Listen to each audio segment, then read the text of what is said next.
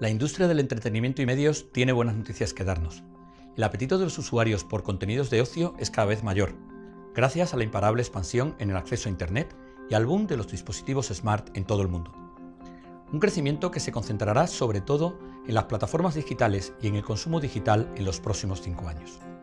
Nuestro estudio Global Entertainment and Media Outlook 2013 concluye que el gasto mundial en la industria de entretenimiento y medios crecerá a un ritmo nada despreciable del 5,6% hasta el año 2017 y que en España lo hará a un ritmo algo más modesto del 1,9%.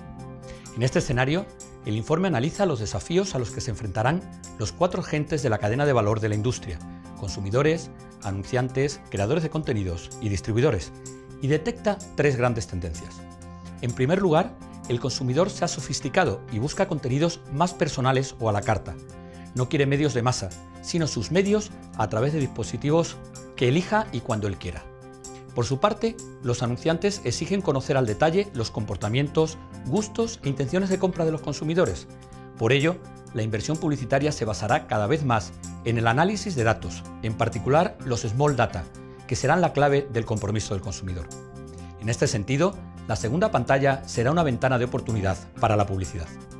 Por último, los distribuidores deberán ser ágiles para ofrecer una experiencia que responda a las expectativas del consumidor, con contenidos relevantes y a través de la plataforma adecuada, en el momento adecuado y al precio adecuado.